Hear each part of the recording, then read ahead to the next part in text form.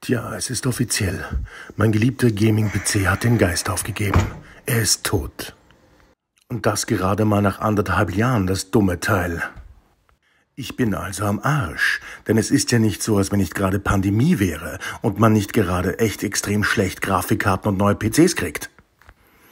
Was mache ich also? Ich baue ein Notfallset auf. Und das nur mit der Hilfe meines Sohnes, der so nett war und mir seinen Laptop geliehen hat. Hier schläft er übrigens. Er schläft übrigens gerne. Und was bedeutet das jetzt? Ich kann meine Show fürs Erste weitermachen. Aber die Frage ist, wie lang noch? Ich sag's wie es ist, ich bin sauer. Hätte ja zu keinem blöderen Zeitpunkt kommen können. Und werde ich irgendwann einmal, wenn ich alt bin, drüber lachen können? Nein. Ich wünsche auf jeden Fall frohe Ostern. Und, ach ja, hört doch mal in mein Album rein. Zorn der Fritaten. Gibt's auf Spotify.